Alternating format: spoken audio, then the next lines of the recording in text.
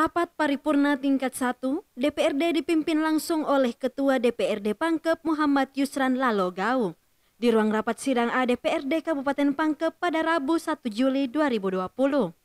Rapat paripurna tersebut berjalan dengan lancar dengan agenda penyerahan rancangan peraturan daerah atau biasa dikenal dengan Ranperda.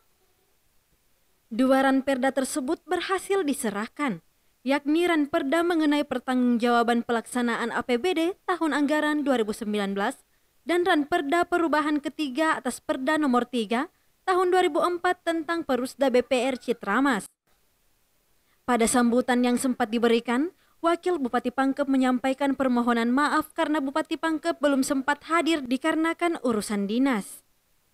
Ditetapkan sebesar 6 miliar, Kewajiban pemenuhan modal inti minimum bank perkreditan rakyat dijelaskan pada Ranperda Perubahan ketiga atas Perda nomor 3 mengenai Perusda BPR Citramas. Atas dasar dikeluarkannya Peraturan Otoritas Jasa Keuangan atau OJK sampai Desember 2024. Peningkatan perusahaan daerah Pangkep juga diselaraskan dengan rasio kecukupan modal.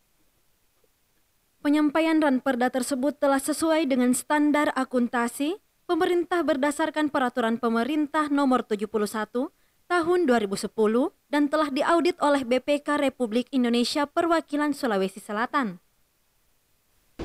Sidang